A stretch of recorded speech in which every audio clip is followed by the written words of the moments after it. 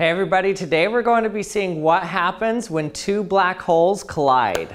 So if for some reason you're not aware, we just recently got news that the very first picture of a black hole has been taken. But today I'm going to be showing you what it looks like if you were to actually drop one black hole inside of the other. Would it just swallow it up? What would happen at the boundaries? What would happen at the event horizons as the black holes come near each other? Now in order for two black holes to collide together, what you need is two black holes traveling in opposite directions coming near each other. But because space is so big and black holes are so small compared to space, as those come near each other, most likely they're going to miss each other. There's almost 0% chance that they're just going to hit each other head on. So what will most likely happen is that they'll miss each other. But as they come nearer each other, they're going to be affected by each other's gravity. So they're going to come near and they're to pass each other, but they're going to pull each other back and then they're going to start spinning around each other like this. And then as they spin around, something interesting is going to happen. They'll kind of reach an equilibrium state, but they'll start to lose energy. And one way that they lose energy is through gravity. So as these two black holes are orbiting each other, they're going to orbit each other really fast. And as they're orbiting each other, they actually send out gravitational waves. Now these are the same gravitational waves that were picked up by LIGO in 2016. We actually picked up these gravitational waves from two rotating black holes that were about to collide together. So as these black holes orbit around each other really fast, they're sending out gravitational waves, and those waves actually carry energy away from the black holes, so they lose angular momentum and they get closer and closer and closer together until their event horizons start to overlap. And then let's see what happens after that. Now before we continue, I'd like to thank the sponsor of this video, Dashlane. So if you had to guess right now, how many passwords would you say that you have to have or remember? So for me right now, with all my social media accounts, bank accounts, everything included, I'd say it's probably over 50 passwords that I need to remember. And there's no way I'd be able to do it without a password manager. Now Dashlane is a password manager that also includes a VPN. So Dashlane is a secure password manager that saves all of your passwords so that when you go to any website or any app that you need to go to, it will autofill your passwords. So all your passwords are securely stored in Dashlane, which is much more secure than saving them in your browser. And what's really neat, because you use a password manager, you don't have to worry about remembering your passwords. So you can use Dashlane's password generator to generate some very secure passwords like this. Now, if you want to try out Dashlane for free, remember to click the link in my description to get Dashlane Premium for free for 30 days. Now let's go check out the collision of black holes. Okay, so to show you what I mean, I have a black hole here, and I'm gonna shoot another black hole at it, but not quite hit it. So this black hole right here is gonna be shot near it, and the gravity from this main black hole is going to pull it towards it, but it's not going to hit it, it's just gonna pull it towards it and slingshot it the other way. Three, two, one. See it falling towards it. It's gonna go behind it and slingshot it behind it and then fly off the other side. So it never actually got sucked into the main black hole. But every once in a while, you'll get two black holes that happen to be in a binary orbit with each other. And the way that can happen is if there are two stars that were orbiting each other, and one of the stars undergoes a supernova and turns into a black hole, and then the other one undergoes a supernova, turns into a black hole, so those two black holes stay orbiting each other. And it would look something like this. So I'll place one black hole right here, and then I'm gonna put the other one in a binary orbit with it. You can see how they both orbit each other.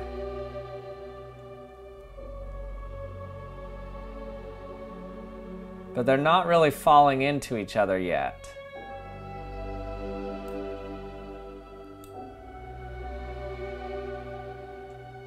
So look how cool it looks for two black holes to be orbiting each other. You can see how the light lenses around the black hole. This is due to the bending of space-time itself. So you can see these two black holes come very close to overlapping their event horizon. You can see right away that a black hole looks like it has a volume, but it doesn't really have a volume. It's called a singularity, meaning that all the mass of the entire black hole is contained in a single point. It's smaller than an atom, it's even smaller than a Planck length.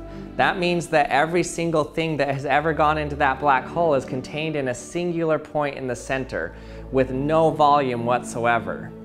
But the only reason it looks like it has a volume is because the effect of the gravity stops light from escaping at a certain distance. And so around that certain distance, you can't see light anymore. So it looks like there's kind of this spherical volume around it, when in reality, there's no volume whatsoever to a black hole. It's just one single point. Now, as these black holes orbit around each other, I'm locked in on the center one, so both of them are actually moving here. But as these black holes orbit around each other, eventually they're going to get closer and closer together as they lose energy through gravitational waves. So in honor of the black hole that we just took a picture of, M87, which has a mass of around 2.4 billion suns, I'm going to be colliding two M87 black holes together. Now this M87 black hole is huge, and by huge I mean it's massive. And because it's massive, the event horizon around it, the dark area around it, is huge. For example, this is our sun in our own solar system, and let me zoom out a little bit. You can see the orbit of Mercury here, Venus, Earth, Mars, keep zooming out, Jupiter with all its moons around it, Saturn, Uranus, Neptune, and now look at this black hole. So you can see how the diameter of the event horizon is as big as our entire solar system. So this black hole is huge. Okay, so I have my two M87 size black holes here. So I'm gonna be placing one M87 black hole and then place the other one around 1000 AUs away. Okay, here we go. Three, two, one.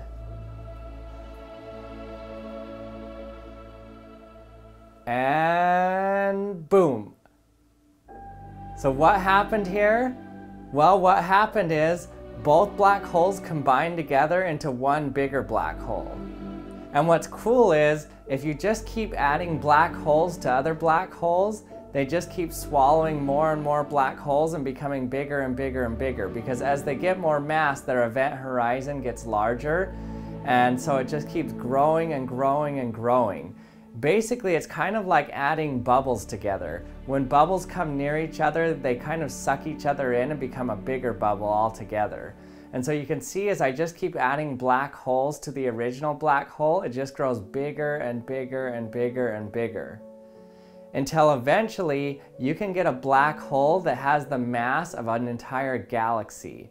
In fact, you can get a black hole that has a mass of thousands or millions of times more than a galaxy. Okay, now how about if we add a super giant black hole next to a galaxy like our Milky Way? So you can see that a galaxy contains pockets of dark matter. There's a supermassive black hole in the center that these stars are orbiting around. But what if we put a black hole just near it?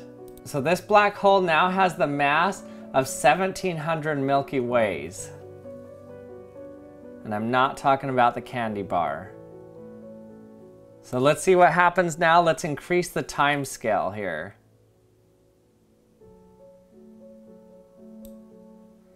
Whoa, it's all coming towards it. Whoa.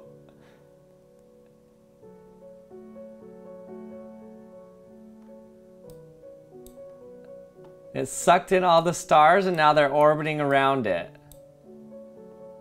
It's eating them all up.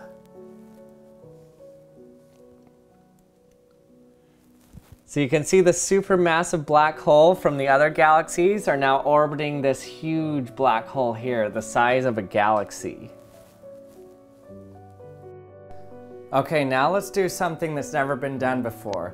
Let's take one of these dark matter masses in the galaxy and let's add to its mass. And so basically I'm gonna keep adding to its mass until the dark matter itself becomes a black hole. So you can see I increase the mass of it until eventually it collapses in on itself and becomes a black hole.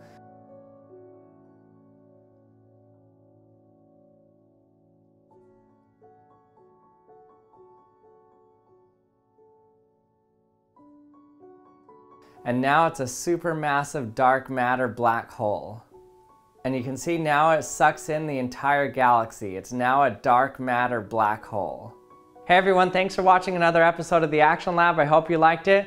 If you did, hit the subscribe button if you haven't yet, and head over to theactionlab.com to check out the Action Lab subscription box. The first subscription box is a vacuum chamber box. You get your own mini vacuum chamber, which is pretty awesome. So head over there today if you haven't seen it yet. And thanks for watching, and I'll see you next time.